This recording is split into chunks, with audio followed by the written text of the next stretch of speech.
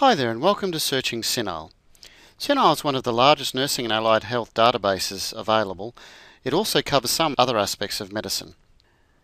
This is the CINAHL search page. You'll notice that there is the ability to tick a box that says suggest subject terms.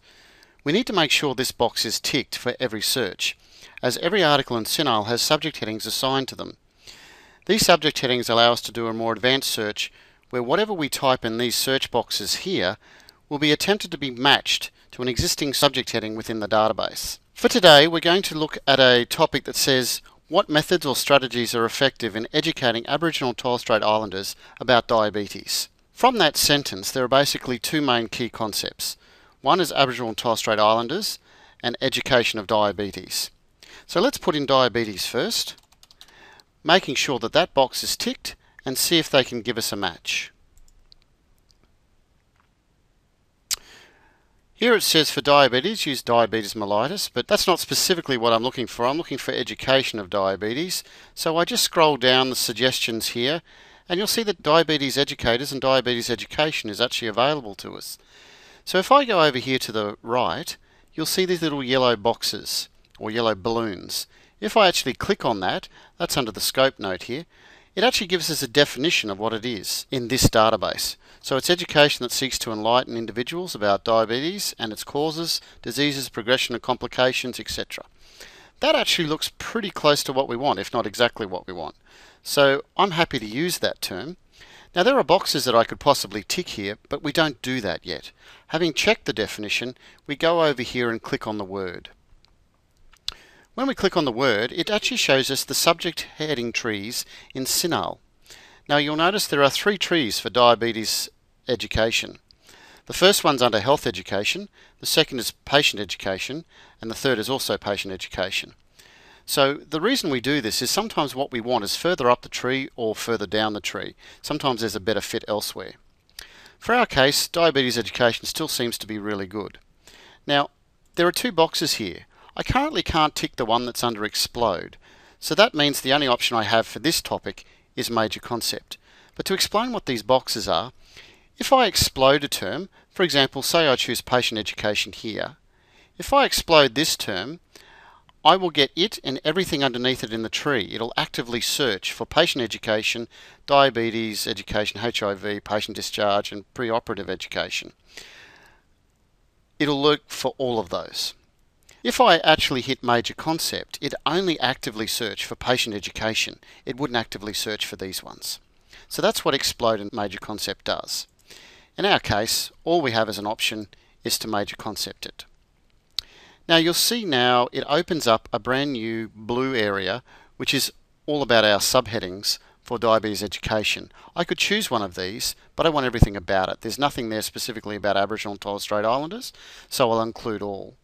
If I scroll down further, you'll see it's used for, these are synonyms for the term that we've actually ticked. Over here is a summary of what we've selected. So I'm going to hit search database and it'll do a major concept search for diabetes education. Now I get 2,396 articles, so that's great.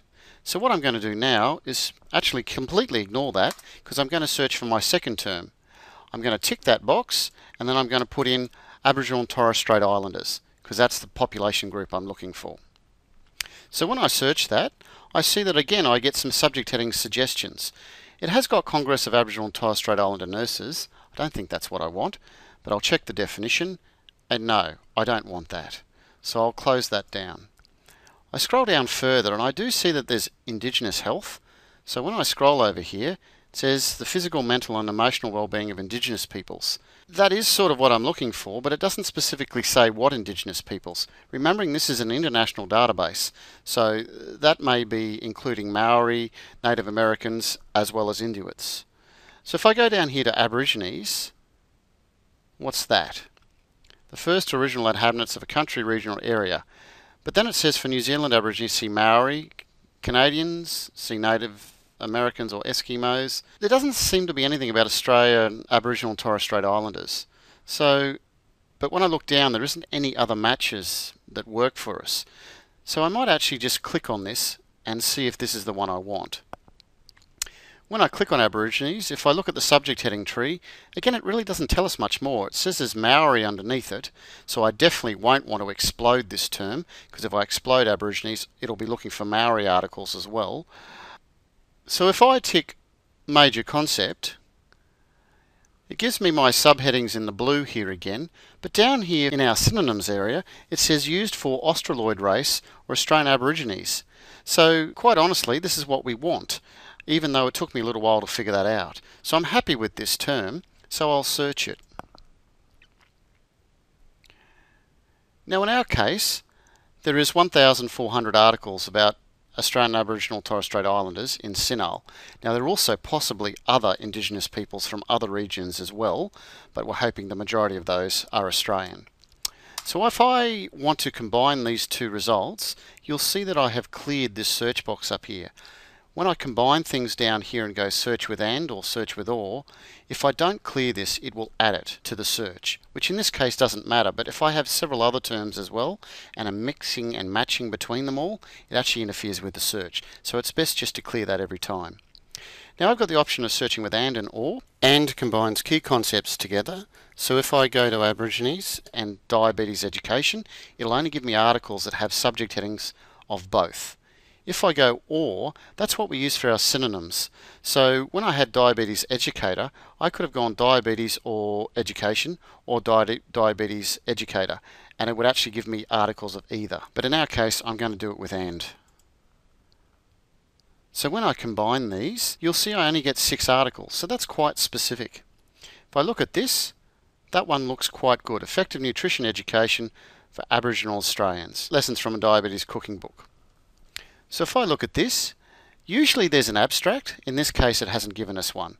But you will see there are other subject headings that are assigned to this article. That's quite useful because you can actually look at this and see if there are other terms you could use. For example, we could use nutrition education as well, perhaps as a synonym to diabetes education, because if it's got good nutrition, hopefully it helps with the diabetes. So look at these subject headings and see if, if there's anything else that you could apply to your search. If I go back, there is no full text in CINAHL. If I wanted the full text to this, I click on it and find it at JCU, and we have another video explaining what, how to use that and find the full text of articles that are found in databases like CINAHL. Now over here on the right, I've actually got the ability to apply some limits. I clearly don't need any for this one because there's only six, but if I go in here to demonstrate it, if I click on show more, you'll see I can uh, limit to English, I can limit to peer review, I can limit to human and I can limit to certain year range to 2014 for example. I could apply all those limits. I've also got the ability to limit to age groups as well as publication types. So they're all available there. Just one word of warning. Notice that it has in here the ability to link to full text. There is no full text available in CINAHL. This is a template that the EBSCOhost, who provides us with CINAHL, has in every one of their databases. So don't tick that because it actually won't work for us in this database. If I want to mark these articles to save or print them, I can click on the plus. I've marked those three articles. If I go up to the top, you'll see there's a folder. I click on the folder and it'll actually bring up the three articles that I've just marked. You can export them into EndNote, which is a bibliographic software program that the JCU Library has available for free, or I can print or email them or save them. So that's searching CINAHL. If you have any further questions, feel free to talk to your friendly library staff at InfoHelp, either in person, email, phone, chat or Facebook. We're here to help you. Thank you.